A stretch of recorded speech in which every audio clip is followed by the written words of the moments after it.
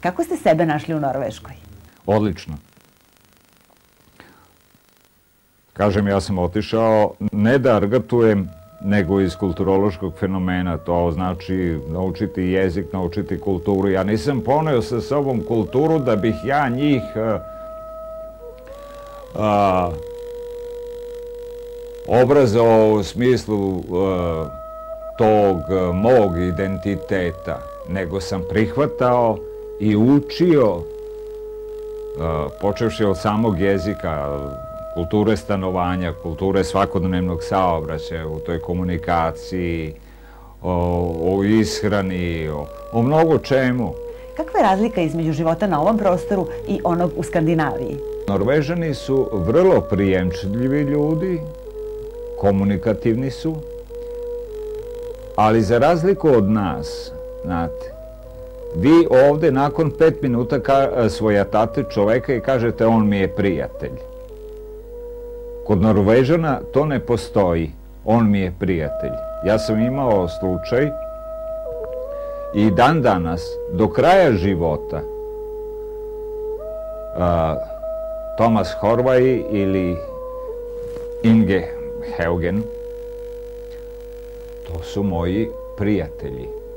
Jer ja prvi put kada sam došao, ja sam na engleskom govorio Ramji, Ingetu, rekao, treba da mi se uradi to i to, a on kaže, ja tebe ništa ne razumem, tada je rekao na norveškom, pošto nije bio u, školovan u dovoljnoj meri da bi engleski govorio i onda je pozvao sina svog. I ja kažem Ingetu preko Jima, Jim se zove, reko reci ocu da ću ja posle šest meseci govoriti čisto norveški. I tako se i desilo. I on i ja smo do kraja života prijatelji. A Tomas Horvaj, koji je adjutant kralja Haralda, koji je nosio moje crteže i dela moja u bazu, on jednog dana došao kod mene i rekao je doslovce ovako, Bob, ja više ne mogu da ti nosim ove crteže u kartonskoj mapi, evo izvoli.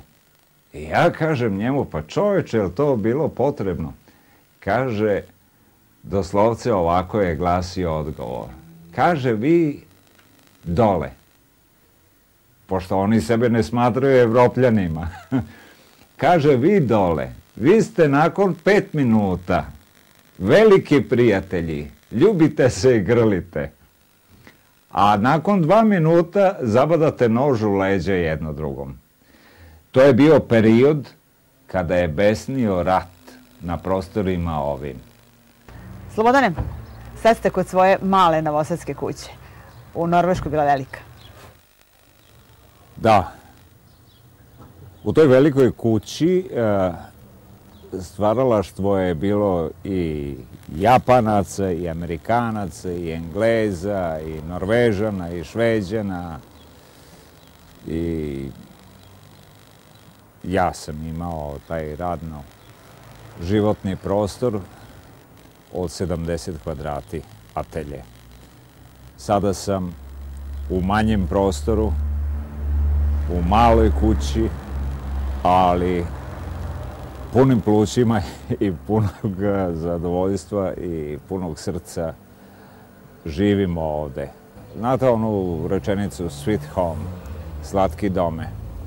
Ovo je moje i ja sam na svome i svaki dan imam susrete sa porodicom mojom koja je proširena, imam četvoro unučadi i pravunuka imam. Redovno dolaze i na spavanje svako jutro 4, 4, 10 Slobodan ustaje da bi u pola pet kaneslu seo za štafelaj. A ako slučajno okasni, kanesl mora da se kazni. Kažnjava se iz prostog razloga što samo disciplina mora da postoji. Radi, samo radi, ne zovi, radi. Sve ostalo je ništa. Ovo je muzika. Kakav Beethoven, kakav Brahms. Kakav Albinoni. Ćuti, sedi, radi, muzika je unutar tebe. Ja kada uradim delo, to moram da kažem, to